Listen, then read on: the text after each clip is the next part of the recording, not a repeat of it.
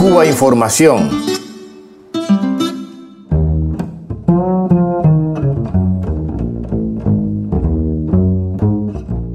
Hace unas semanas, el presidente venezolano Nicolás Maduro denunciaba un nuevo plan para asesinarlo y apuntaba a John Bolton, asesor de seguridad nacional de la Casa Blanca. La prensa internacional se mofaba de la denuncia y, a pesar de que las fuentes procedían del establishment norteamericano, no hemos leído ningún trabajo de investigación periodística. Pero, ¿quién es John Bolton?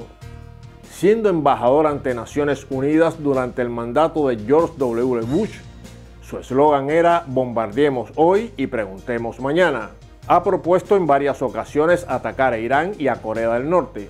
Es uno de los creadores de la idea de las armas ocultas de destrucción masiva de Saddam Hussein e impulsor de la guerra contra Irak.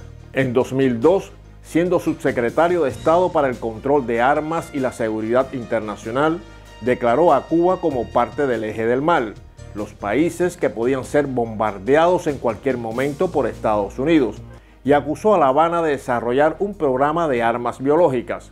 Hoy Bolton impulsa el bloqueo y las sanciones de todo tipo contra lo que denomina la troika de la tiranía, es decir, los gobiernos de Cuba, Venezuela y Nicaragua es el halcón que necesitaba la Casa Blanca para dar satisfacción al senador Marco Rubio y a la ultraderecha cubanoamericana que exigen el regreso del Big Stick contra Cuba para apoyar a Donald Trump en política interna.